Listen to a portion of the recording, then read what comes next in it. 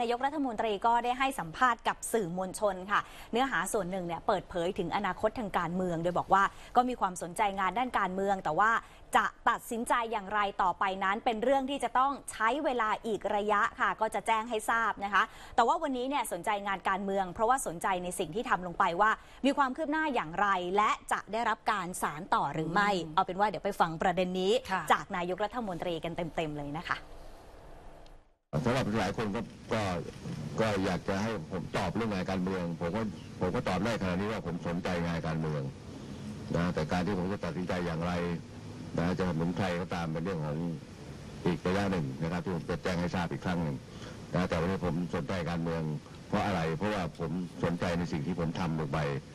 ว่ามันไปถึงไหนอะไรอย่างไร แล้วว่าน่าจะรับการสืบสารต่อหรือไม่ ผมก็จะติดตามรับฟังจากบรรดา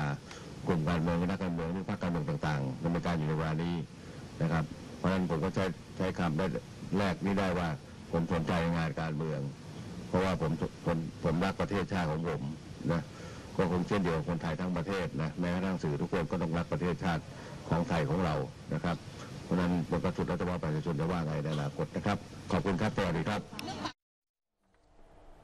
ส่วนประเด็นเรื่องของการปรับคณะรัฐมนตรี นายกรัฐมนตรียืนยันด้วยนะคะ ว่ายังไม่มีการปรับคณะรัฐมนตรี แล้วก็จะไม่ลาออกจากการเป็นหัวหน้าคณะรักษาความสงบแห่งชาติหรือว่าคอสชค่ะ